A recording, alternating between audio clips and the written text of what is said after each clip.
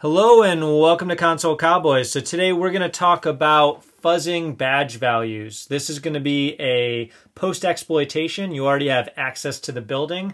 You found a door that you don't have access to, but you have a valid card number already, and that's how you got in the building, or you cloned one off of somebody's desk.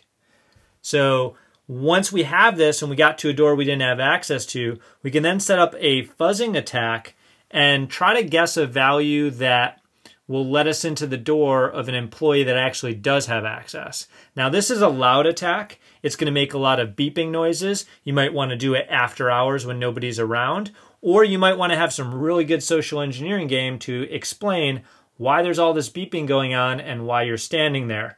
But with that said, it can be successful attack and it can get you access to what you need if you need to do some privilege escalation.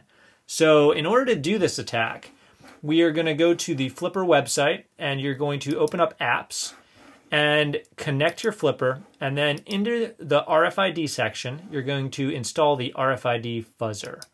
Once you install this, you should be good to go. So I'm going to flip over to another video and we're going to run through the attack scenario and show you exactly how to do it step by step. So we've broken into this building.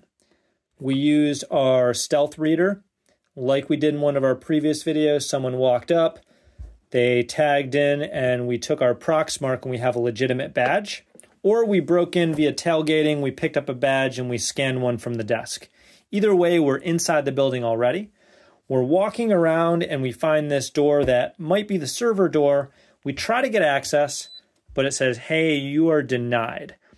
But we already have a card number that's valid within the organization. So we're going to assume that that card number is somewhere in the vicinity of a legitimate user who can get inside of this door.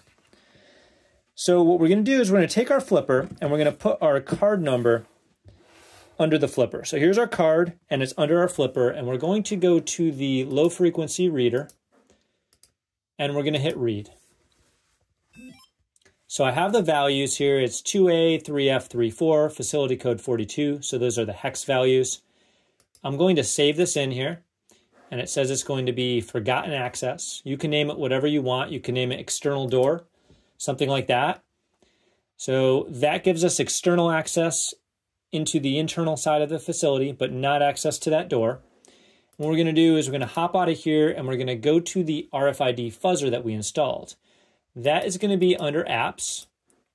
I'm going to scroll down to RFID and we're going to open this guy up. So once we open up this, you can manually change stuff, etc. But what we're going to do is we're going to load file because we want a base value that's similar to what might be a legitimate value, and that's the one we already scanned in from a legitimate badge. So we can hit forgotten access, and here are our values, 2A, 3F, 34. So what we can do is we can fuzz this last number here, and hopefully, as we fuzz this, we get a legitimate employee badge number that gets access to this door. So we could use a little logic and say, oh, you know, maybe it starts out at 30 if that's where the cards start, or 0001, etc. So you could play around with this depending on what you want to do. We're just going to start right here. And I'm going to pull this over so you can see it better and see it changing granted or denied. And then I'm going to take the flipper and put it on here. And then what we're going to do is we're going to hit attack.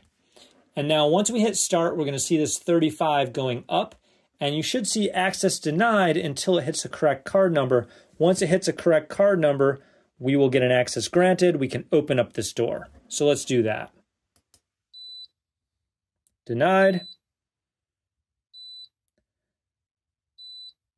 And then after a few tries, we got granted. Now, will it be this easy? Probably not. You might have to try 100 tries.